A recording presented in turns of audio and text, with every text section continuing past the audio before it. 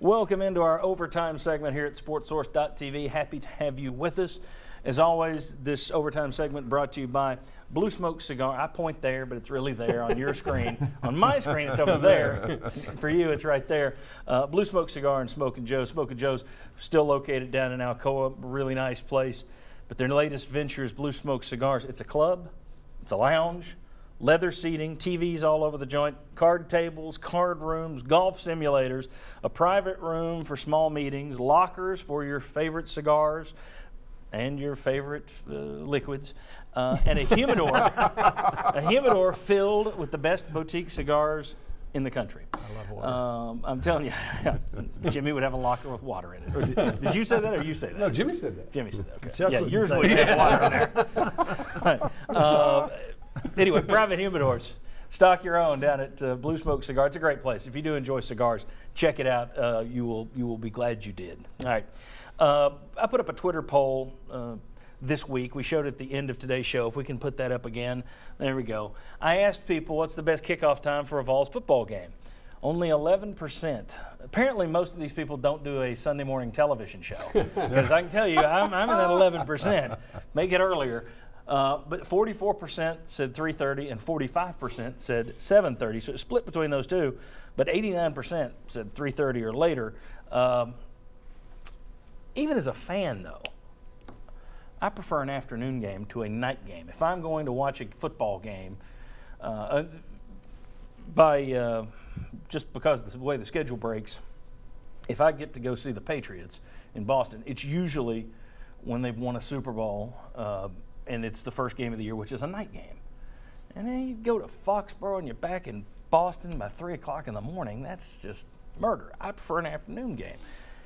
I'm in the minority, though, I guess. What do you guys, in terms of both when you covered it, you still do, but when you covered it in the media, what did you prefer, day, afternoon, night? And as fans, what do you prefer, day, afternoon, night? I have grown accustomed to 3:30.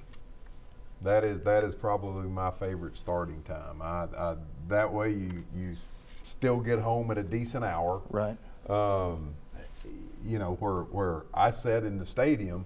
By the second half, I'm in the shade, which is great when it's hot. Of course, it, then you got the cold season too. But I think 3:30 has become my preferred time. Well, well, I'll split them. From the media perspective, I don't like night games at all. Uh, I not only is there a post game show to be done, but there's also the radio show, Mm-hmm. your TV show the next day. Uh, those are brutal uh, for personally from the media, but nobody cares about that.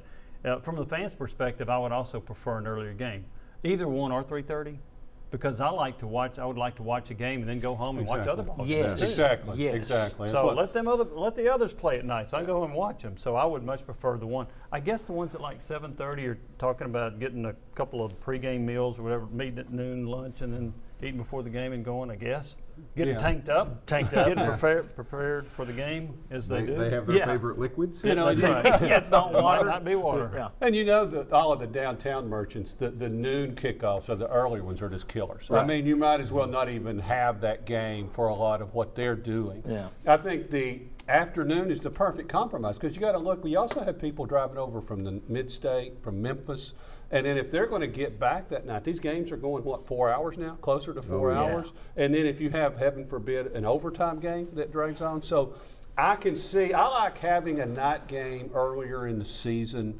just because I think that's really cool when the lights are on at Neyland Stadium. I'm going to say the same thing. I like a night game. I like to go to a night game every year because I do think it's just fun. The atmosphere is a little bit different. Different. But you know, face it. If you've got a, if you've got, um, you know, heaven forbid, one of the eight o'clock kickoffs, and it's November. Well, it's already been dark for two and a half hours. I mean, now, I mean, that's my bedtime. I'm, you know, I try to, I try to get like three seats so they can give me a blanket and a pillow. But I, I, I like a night game every year. Don't terribly mind two, but if they start really getting into them, it, it's just too too much. Well, if you go back uh, traditionally, I think most of the back before every game was on television, and that's what changed everything really.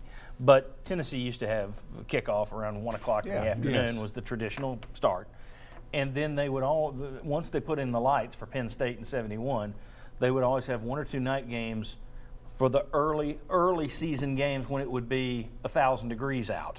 Uh, if you did a one o'clock game in, in early September, so they would play those night games. To me, that's perfect. I, I would I could live by that, but I, I don't. I know that the merchants probably would prefer 3:30 or 7:30 as opposed to one o'clock, but for years the merchants got by at one o'clock. I, I there's just something to me about watching an afternoon football game. That's just maybe it's because I watch so much NFL and the team I pull for is, is is the NFL team. So when I look at the Patriots, I like those day games. I hate the Well, night games when the when the Patriots I've, get stuff I've- there. I've got a connection to one of your sponsors at Calhoun's. I've talked to him regularly. He does not like night games, and the reason is not only is your ball game crowd at the stadium, people are sitting at home watching it on television, Yes. so they're not coming out in the Yes. oh yeah, number. okay, So yeah. I So better can- for 3:30. Yeah, I think you you, can make arguments as far as those kind of things all the way around. But uh, it, it has been, what, Tennessee maybe plays one 1230 kickoff every year, maybe two at home. Yeah, it But- depends on how many times you get stuck on a bad Yeah, on I the SEC and- network with a and, bad game. And it is, it has gotten to the point where those are the games that I that I don't prefer. I prefer the uh, later in the afternoon into the into the early evening, as far as going and, and what I like to do when I go to the game. All right. Anything else to add? No, I mean, but it's the whole tailgating experience has gotten to be, I think, bigger since they've added the Circle Park Yep. thing, which is provided for the fans, and then you got the G9, G10, or whatever it is with what all goes on there. As I smile, uh, but I do, I, I- I do like that, and I think the afternoon is the perfect, and I think a night game, even if it's a non-conference, is a great. Comp- Is a great, great compromise to play early in the season in September, early October. Right. That's just so nice. It's so comfortable, and you're not there you know, in sweltering heat, and Right. then you're not freezing. You know, like what was it, the Missouri game last year? The game where it got so cold and people were just leaving in droves late in the season. So. Uh, I I think there is a, a healthy compromise there, but most people, I think, do like Well, that. and mid- Oh yeah, that's right. The, the, all the Missouri people left uh, that that game. It had nothing to do with the fact Tennessee was giving up a million yards and points. Everybody left because it was cold. I'd, I'd forgotten that whole argument. yeah. If the other thing about it, the one o'clock kickoff games, those did predominantly happen back before tailgating got to be yeah, where it tailgating is. is now a sport of its own. and, and it, it was- is Oh, it a thing Yeah, of its it own. really yes, it's a big part of it.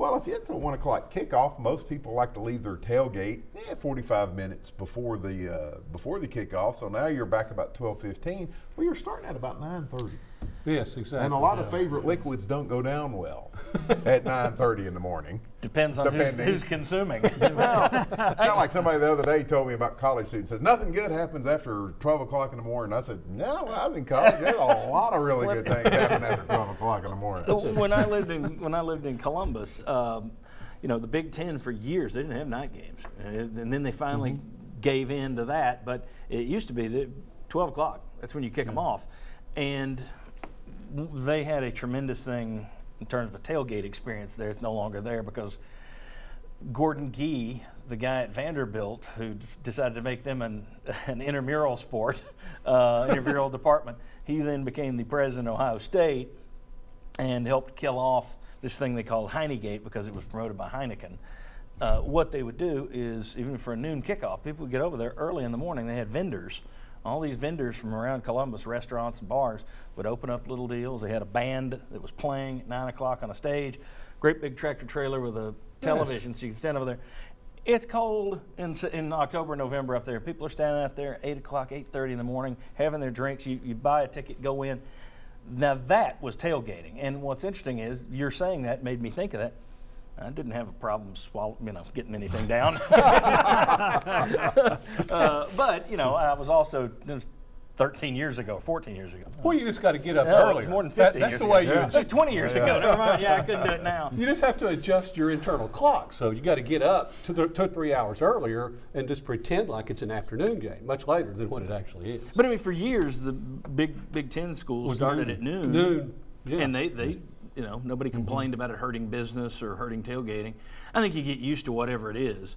But the tailgating has has certainly And- and become it- a thing of its own. And now. obviously, the, the vol walk, the way they time that Yeah. has gotten to be mm-hmm. such a big thing now, too. and has been, I guess, for several years. Well, but think even the I- band. You know, here's the deal: the businesses that prefer this time or prefer that time, Tennessee's winning. That's what everybody prefers. Yeah, Because that's that right, whenever. maximum amount of people down there. Well, and it also means people are going to be out and about Sunday, Monday, and Yeah. Tuesday. When Tennessee loses, you know, I've for 15 years I've been dealing with sponsors in this market, and you know this as well. Mm-hmm. When Tennessee loses, business goes. I mean, they just slow down on Sundays. You, fans do not go out and do anything. They don't go to movies. They don't want to go eat. It's like even the hut levels, what you houses using television, those drop on Sundays. Uh, not just for us, you know, we actually do well when Tennessee loses. That's some of our best shows. But for most part, people it's like they don't even want to accidentally come across a highlight. I can't watch TV today. So winning, mood. winning Yeah. cures much. Yes.